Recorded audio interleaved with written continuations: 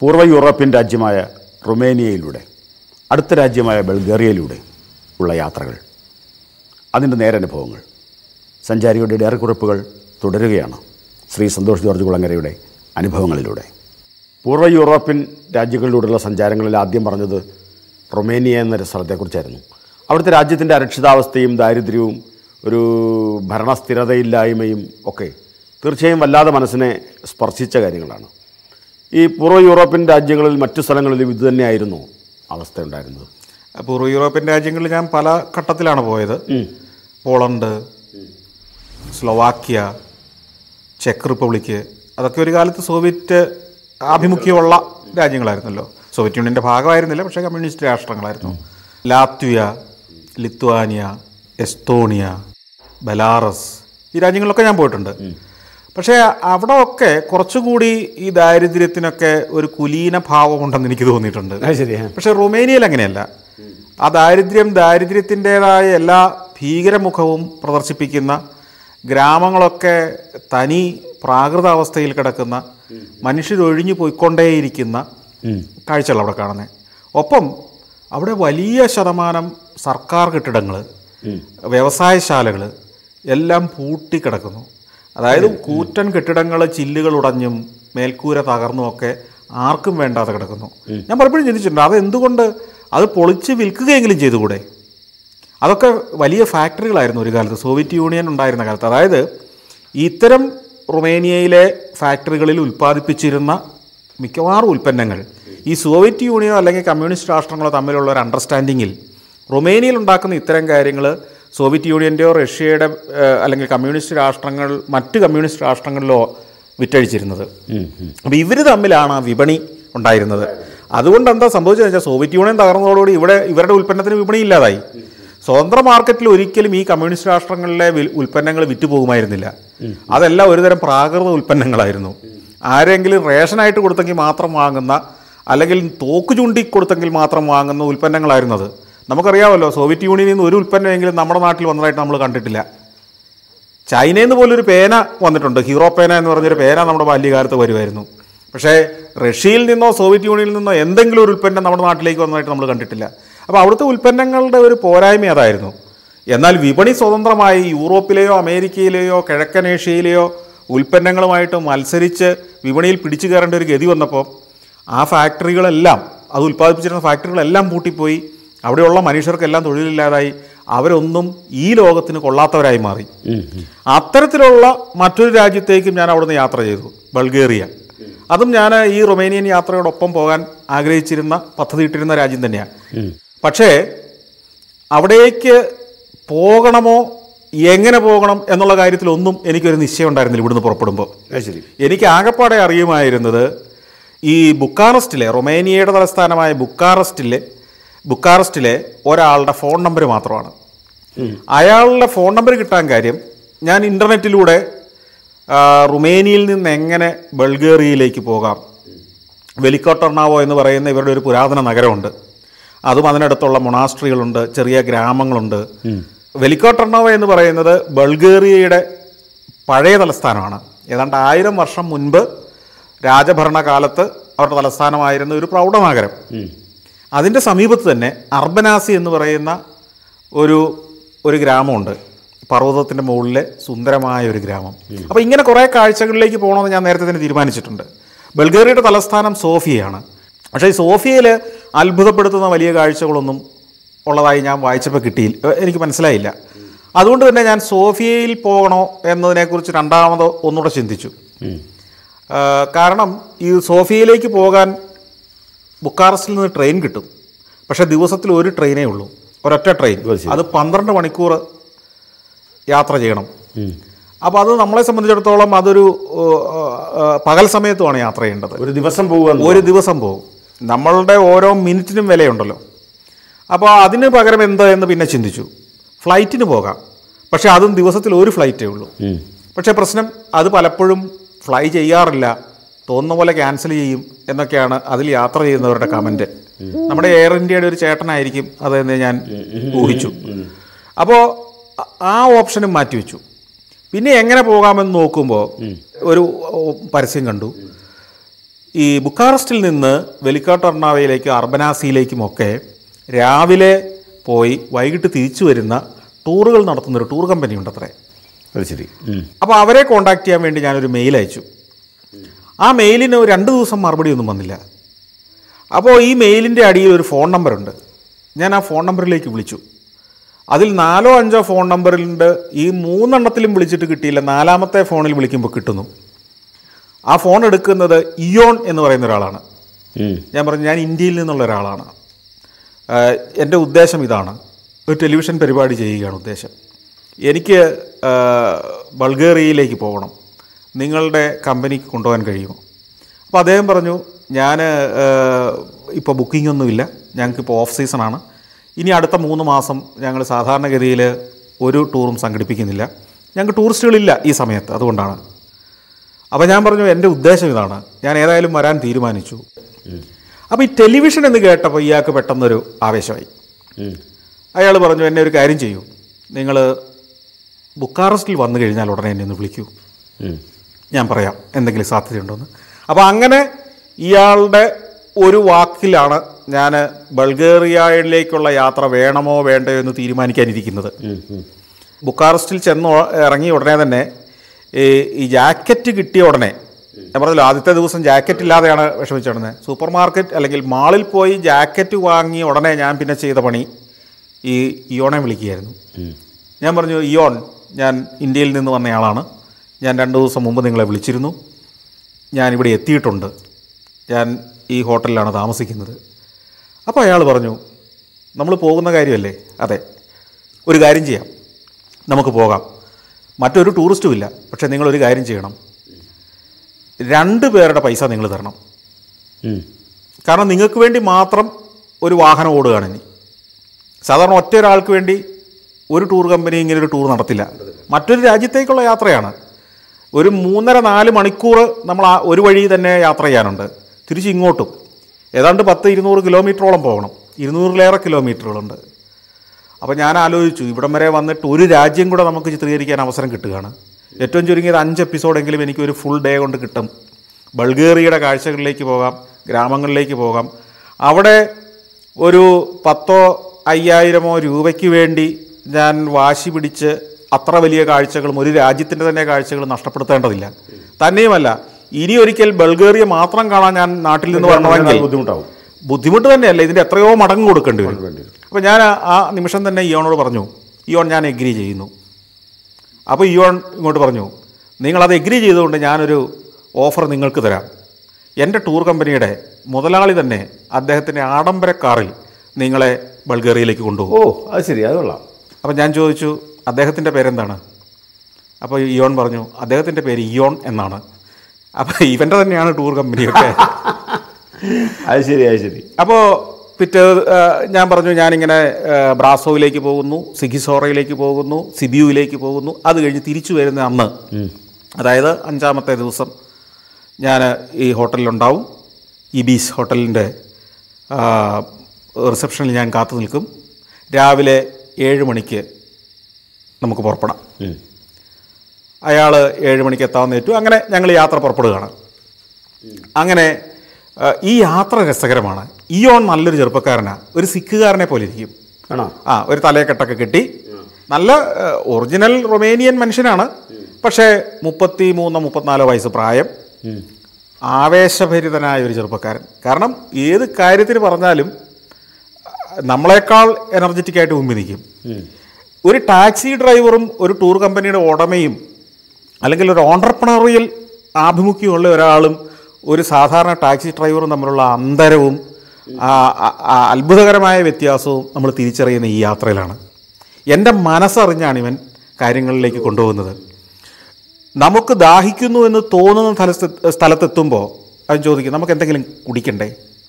അത്ര ബുദ്ധിയുള്ളൊരു ചെറുപ്പക്കാരൻ.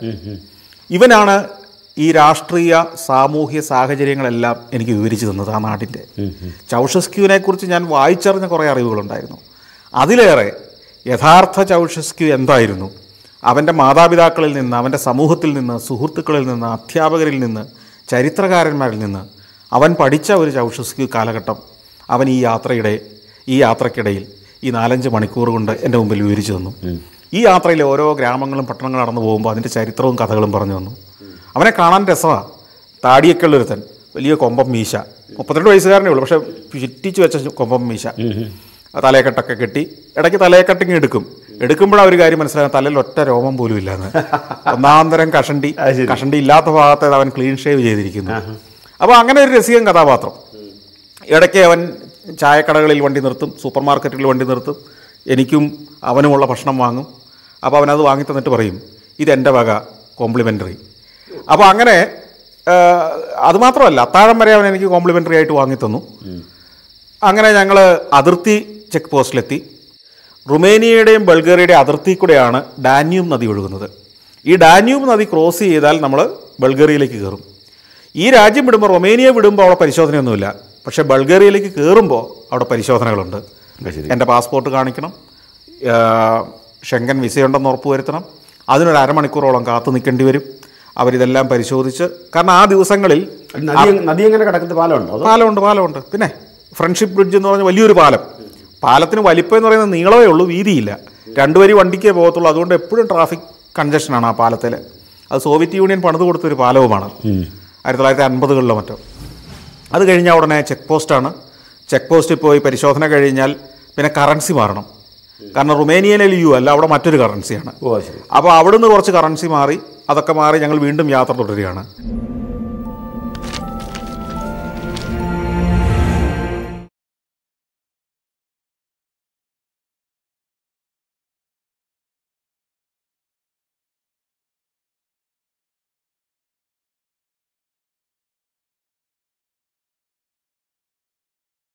അങ്ങനെ അർബനാസി എന്ന് പറയുന്ന ഗ്രാമത്തിലേക്കാണ് ആദ്യം പോയത്. വെലിക്കർ ടർണോവ എന്ന് പറയുന്ന പട്ടണം ആണ് ഇവരുടെ ബൾഗേറിയയുടെ തലസ്ഥാനം. ആ പട്ടണം ഒരു താഴ്വാരത്താണെങ്കിൽ അതിന്റെ മുകളിലുള്ള ഒരു പർവതത്തിന് മുകളിലാണ് ഈ ഗ്രാമം. അത് ശരി. അതൊക്കെ വിശദമായിട്ട് സഞ്ചാരത്തിൽ കാണിച്ചതാണ്. ഞാൻ അതിന്റെ വിശദാംശങ്ങളിലേക്ക് പോകുന്നില്ല. അവിടെ ചെന്ന് കഴിഞ്ഞപ്പോൾ പല കാഴ്ചകളിലേക്കും പോയി. അതായത് അവിടുത്തെ പ്രഭു കുടുംബങ്ങളായിരുന്നു പ്രധാനമായും സമ്പന്നരായിരുന്നു അവിടെ താമസിച്ചിരുന്ന ആ ആ ഗ്രാമത്തിൽ ആ ഗ്രാ ഗ്രാമം മുഴുവൻ. സമ്പന്നരെന്ന് പറഞ്ഞാൽ മറ്റേതോ നാട്ടിൽ നിന്ന് കുടിയേറി വന്ന ആളുകളായിരുന്നു ഈ ഈ ഗ്രാമത്തിലെ മുഴുവൻ അധിവസിച്ചിരുന്നത് അവരുടെ വീടുകൾ എന്ന് പറയുന്നത് അവർ വണിക്കുകൾ വലിയ ഒരു കച്ചവടക്കാരായിരുന്നു. ട്രേഡേഴ്സ് കിഴക്കൻ നാടുകളിൽ നിന്ന് ഉൽപ്പന്നങ്ങൾ കൊണ്ടുവന്ന് പടിഞ്ഞാറൻ നാടുകൾക്ക് വിറ്റുകൊണ്ടിരുന്ന ട്രേഡേഴ്സ് ആയിരുന്നു. അതുകൊണ്ട് തന്നെ വലിയ സമ്പന്നരായിരുന്നു. ഒപ്പം ഈ കച്ചവടത്തിന് വേണ്ടിയുള്ള യാത്രകൾക്കിടയിൽ ലോകത്തിലെ വിവിധ സംസ്കാരങ്ങളെ പരിചയപ്പെട്ടു.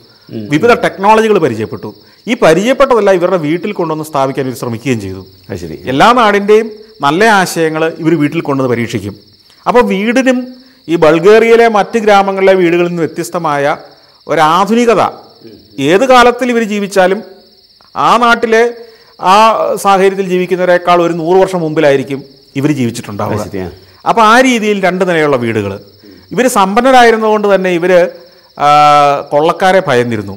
അപ്പോൾ അതുകൊണ്ട് ഓരോ വീടും ഒരു കോട്ടമതിലിനകത്ത് എന്ന പോലെ പണിത് വെച്ചിരിക്കുന്നത്. താഴത്തെ നില മുഴുവൻ കരിങ്കല്ല് കൊണ്ട് കെട്ടിയ വീട്. മുകളിലത്തെ നില മരം കൊണ്ട് പണിത നമ്മുടെ അറയുന്നിരയുള്ള വീട് പോലെ തന്നെ. താഴത്തെ നിലയിൽ പരിചാരകരും കൃഷിയായുധങ്ങളും പണിയായുധങ്ങളും മൃഗങ്ങളും ഒക്കെ താമസിക്കും. അത് എന്ന് വെച്ചാൽ ഒറ്റ മുറിയല്ല പല മുറികൾ ഓരോന്നിനായിട്ട് വിഭജിച്ച് കൊടുത്തിരിക്കുകയാണ്. കരിങ്കല്ല് കെട്ടിയ വൃത്തിയുള്ള കെട്ടിടങ്ങൾ തന്നെയാണ്. മുകളിലത്തെ നിലയിലാണ് കുടുംബാംഗങ്ങൾ താമസിക്കുക. അപ്പോൾ അതൊരു വീട് നമുക്ക് അകത്ത് കയറി കയറാവുന്ന കാണാവുന്നത് പോലെ ഒരു മ്യൂസിയം പോലെ സംരക്ഷിച്ചിട്ടുണ്ട്. അപ്പോൾ അതിന്റെ മുകളിലേക്ക് ഞങ്ങൾ കയറി ചെന്നു. അപ്പോൾ അവിടെ ആളുമില്ല കുറച്ച് നേരം ഈ വീടിന് ചുറ്റും നടന്നു കഴിഞ്ഞ് ഇയോൺ പോയി ഇതിന്റെ ഒരു കാവൽക്കാരനെ കൂട്ടിക്കൊണ്ട് വരിക. ഒരു സ്ത്രീയാണ്. അവർ വന്ന് വാതിൽ തുറന്നു വന്നു അകത്ത് കയറി. ഞങ്ങൾ ഈ വീടുകൾ ഇങ്ങനെ ചിത്രീകരിച്ചുകൊണ്ട് നടക്കുമ്പോൾ ഞാൻ വളരെ സ്ലോയിലാണല്ലോ ഷൂട്ട് ചെയ്യുക. കാരണം ഇത് ഓരോ ഷോട്ട് ബൈ ഷോട്ടായിട്ട് എടുത്ത് ഓരോ മുറിയുടെയും കിടപ്പ് അതിന്റെ അകത്തെ ഉപകരണങ്ങൾ അതിന്റെ കാഴ്ചയും ചരിത്രവും ആളുകൾക്ക് വ്യക്തമാകുന്ന മട്ടിലെടുക്കണം. അങ്ങനെ ചിത്രീകരിച്ച് പോകുമ്പോൾ ഇയോൺ മുമ്പേ കാഴ്ചകൾ കണ്ടും കുറച്ച് കഥ പറഞ്ഞിട്ട് അയാൾ അടുത്ത കാര്യങ്ങളിലേക്ക് പോകും. ഞാനൊരു മുറി ചെല്ലുമ്പോൾ ആ മുറിക്കകത്തുനിന്ന് ഒരു ശബ്ദം. ആ മുറിയുടെ മച്ചിൽ നിന്ന് വലിയ ബഹളങ്ങൾ അപ്പോൾ ഇയോൺ എവിടെയോ പോയി. കൂറ്റനൊരു വീടാണ്. ഞാൻ മാത്രമുണ്ട്. വേറെ ഒരു സഞ്ചാരിയും ഇല്ല ആ- വീട്ടിൽ അതിനകത്ത് ഒരു ഇരുട്ട നിറഞ്ഞൊരു മുറി. ഞാൻ ഷൂട്ട് ചെയ്തുകൊണ്ടിരിക്കുമ്പം മച്ചിനകത്തുനിന്ന് അതിഭയങ്കരമായ ശബ്ദകോലാഹലങ്ങൾ. കോലാഹലങ്ങൾ മരം കൂടായത് നല്ല. മരമായതുകൊണ്ട് നല്ല മുഴക്കം. ഞാൻ ഇയോണിനെ വിളിച്ചു. ഞാൻ ഉറക്കെ തന്നെ വിളിച്ചു കാരണം വേറെ ആരോടും ഇല്ല. ഇയോൺ വന്നു. ഞാൻ ചോദിച്ചു ഇയോൺ എന്താണിത്? കുറച്ച് കഴിഞ്ഞപ്പോൾ ഇയോൺ ഈ മച്ചിന്റെ ഒരു പലക ഉയർത്തി എങ്ങനെ ഇതൊക്കെ സാധിച്ചെന്ന് സാധിച്ചെന്നറിയത്തില്ല നോക്കി അയാൾ കണ്ടുപിടിച്ചു. എലികളുടെ വലിയൊരു വാസസ്ഥാനമാണ് അത്ര അത്. അത് ശരി. അയാൾ അവിടെ നിന്നില്ല. അത് ആസ്വദിച്ചും തമാശയാക്കി മാറ്റിയുമില്ല. പകരം ഇയാൾ ഞാൻ കാണുന്ന ഒരു കാഴ്ചയാണ്. ഇയാൾ പോവുകയാണ് ഈ ഈ കാവൽക്കാരനെ ഈ ഇതിന്റെ സൂക്ഷിപ്പുകാരിയായ സ്ത്രീ അന്വേഷിച്ച് ഇവർ തൊട്ടപ്പുറത്തുള്ള ഒരു തെരുവിലെ വീട്ടിലാണ് താമസിക്കുന്നത് അവിടെ പോയി ഇവരോട് പറഞ്ഞ് ഈ എലിയെ പിടിച്ചിരിക്കണമെന്നും ഈ എലി അവിടെ താമസിച്ചാൽ ഈ കെട്ടിടത്തിന് കേടാണെന്നും ഒക്കെയുള്ള വിശേഷങ്ങളൊക്കെ കൊടുത്ത് എലിയെ പിടിക്കാനുള്ള ഇടപാടെല്ലാം ചെയ്തിട്ടാണ് ഇയാൾ തിരിച്ചു വരുന്നത്. അപ്പോൾ വെറും ഒരു സഞ്ചാരിയല്ല വെറും ഒരു ടൂർ ഗൈഡുമല്ല ഒരു ചരിത്ര നിർമ്മിതിയോടും അതിന്റെ നിലനിൽപ്പിനോടും എത്ര ആത്മാർത്ഥത പുലർത്തുന്ന ഒരു ടൂർ ഗൈഡാണ് ഇയാൾ കരുതലുള്ള ആളാണ് അപ്പോൾ അങ്ങനെയുള്ള ഒരു പൈ ചെറുപ്പക്കാരനാണ്. മുപ്പത്തിരണ്ട് വയസ്സോ മുപ്പത്തിമൂന്ന് വയസ്സുള്ള ഒരു ചെറുപ്പക്കാരൻ നമ്മൾ പ്രതീക്ഷിക്കുന്നല്ല അതൊന്നും. ആ കാഴ്ചകളെല്ലാം കഴിഞ്ഞ് ഞങ്ങൾ വെലിക്കോട്ടർണോവയിൽ വന്നു. അവിടുത്തെ കോട്ടനഗരം കണ്ടു. തിരിച്ച് റൂസെ എന്ന് പറയുന്ന ഒരു പട്ടണത്തിലെത്തി. റൂസയാണ് ഇതിന്റെ ബോർഡർ ടൗൺ ബൾഗേറിയയുടെയും റുമേനിയയുടെയും ബോർഡറിലുള്ള പട്ടണം. അവിടുത്തെ സ്ക്വയറിലൂടെ മനോഹരമായൊരു സ്ക്വയറുണ്ട് രാത്രിയായി അവിടെ എത്തിയപ്പോഴേക്കും അതിലൂടെ മഞ്ഞ് വീഴുന്ന ആ രാത്രിയിൽ സഞ്ചരിച്ചു. ആ കാഴ്ചകളെല്ലാം കണ്ടു. അവിടെ ചിത്രീകരിച്ചു. വീണ്ടും ഈ പാലം കടന്ന് ഇക്കരെ എത്തി തീർച്ചയായും ഒരു ദിവസത്തെ ഷൂട്ടാണ് ഒറ്റ ദിവസം കൊണ്ട് പക്ഷേ അഞ്ച് എപ്പിസോഡുകളും ബൾഗേറിയയെക്കുറിച്ചുള്ള ഒരു സമഗ്ര വിവരം ആളുകൾക്ക് കിട്ടുന്ന തരത്തിലുള്ള ചിത്രീകരണവും സാധ്യമായി.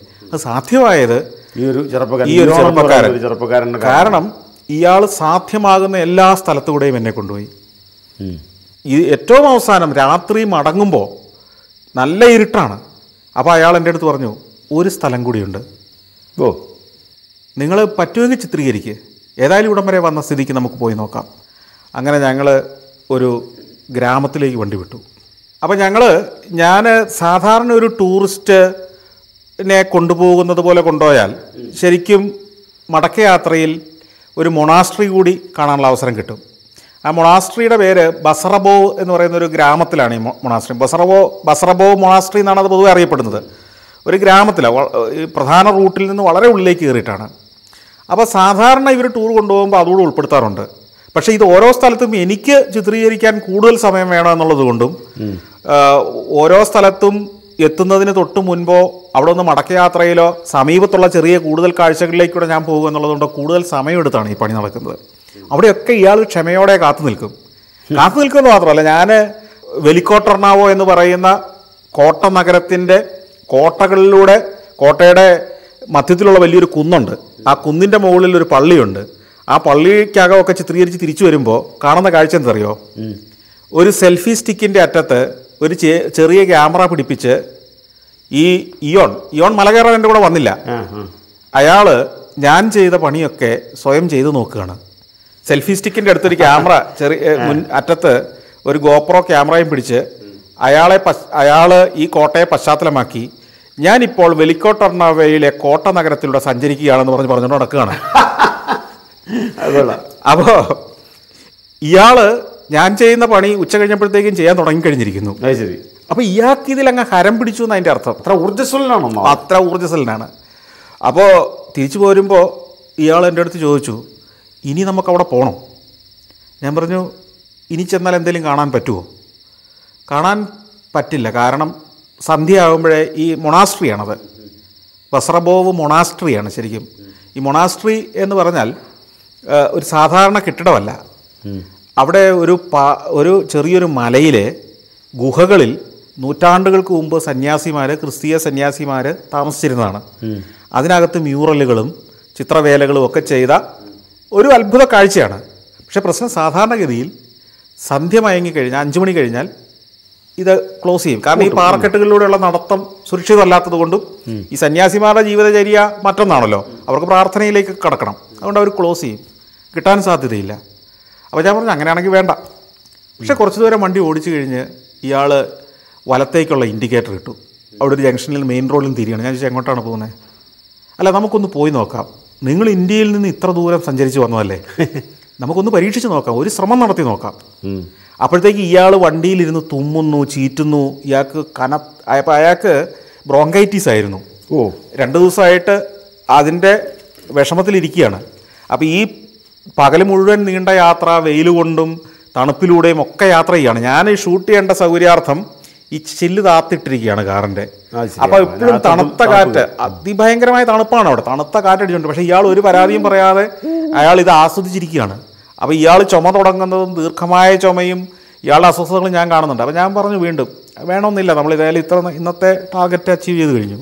അയാൾ പറഞ്ഞു അല്ല പ്ലീസ് വെയിറ്റ് വിൽ ട്രൈ അങ്ങനെ വീണ്ടും ഞങ്ങൾ ബസർബോ മൊണാസ്ട്രിയിലേക്ക് പോവുകയാണ്. ഇയാൾക്ക് വഴി അറിയില്ല. കാരണം ഇയാൾ ടൂറുമായിട്ട് വരുന്നില്ല. ഇയാൾ ഉടമസ്ഥനാണ്. അപ്പോൾ ഇയാൾ അവിടെ വഴിയരിയിൽ ചോദിക്കാൻ ആരുമില്ല. ഇയാൾ ഈ ജി പി എസ് ഒക്കെ വെച്ച് നോക്കുന്നുണ്ട്. കിട്ടുന്നില്ല. ഒടുവിൽ ഇയാളുടെ ടൂർ ഗൈഡായി പ്രവർത്തിച്ചിരുന്ന ആളെയൊക്കെ വിളിച്ച് ചോദിച്ച് ഒരു തരത്തിൽ ഈ ബസ്രവ മൊണാസ്ട്രി ചെല്ലുന്നു. മൊണാസ്ട്രിയിൽ ഏതാനും ഒന്നോ രണ്ടോ ബൾബുകൾ അവിടെ ഇവിടെ മങ്ങിക്കത്തുന്നുണ്ട് വാതിൽ പൂട്ടിയിരിക്കുന്നു. ഇയാൾ വാതിലിനൊരു വിടവിലൂടെ കൈയൊക്കെ കടത്തി വാതിൽ തുറന്ന് ഞങ്ങളകത്ത് കയറി. അത് ചെല്ലുമ്പോൾ താടിയും മുടിയൊക്കെ നീട്ടിയ. ഒരു ഒരു അൽഖൈദ തീവ്രവാദിയെ പോലെ തോന്നിക്കുന്ന ഒരു അച്ഛൻ ഒരു വൈദികൻ അതിനകത്തുണ്ട്.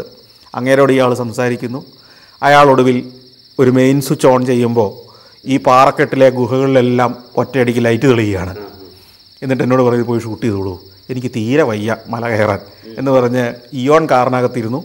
ഞാൻ ഈ പാറയിലൂടെയൊക്കെ അള്ളിപ്പിടിച്ച് കയറി ഈ ഗുഹയിലെ കാഴ്ചകളൊക്കെ ചിത്രീകരിച്ചു.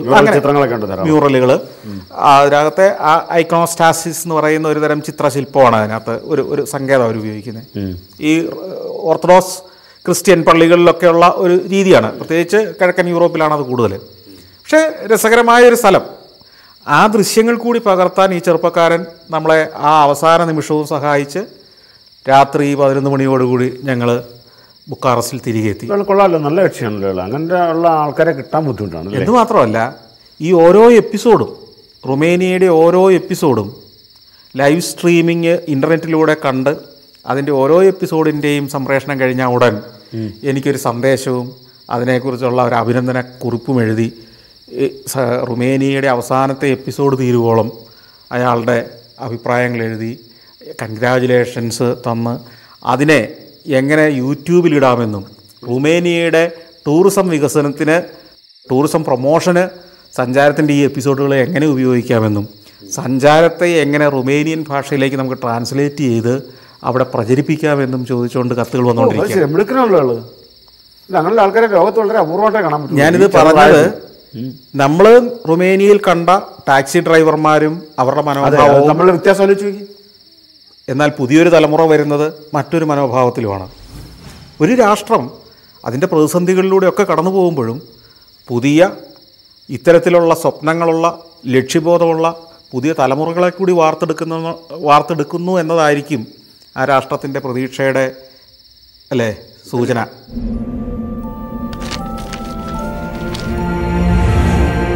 ഏതൊരു തകർച്ചയിൽ നിന്നും ആണൊരു ഉയർച്ച ഉണ്ടാവുന്നത് എന്ന് പറയും. രാജ്യത്തിന്റെ നിശേഷമായ തകർച്ചയിൽ നിന്ന് പുതിയ പ്രതീക്ഷയുടെ നാമ്പുകൾ ഉണർന്നു വരുന്നത് ഈ ഓണം ചെറുപ്പക്കാരിൽ നമുക്ക് കാണാൻ കഴിയും. സഞ്ചാരിയുടെ ഡയറി കുറിപ്പുകളിൽ ഇനിയും എത്രയോ പേരെ നമുക്ക് പരിചയപ്പെടാനുണ്ട്. വരുന്ന എപ്പിസോഡുകൾക്കായി കാത്തിരിക്കുക. നന്ദി.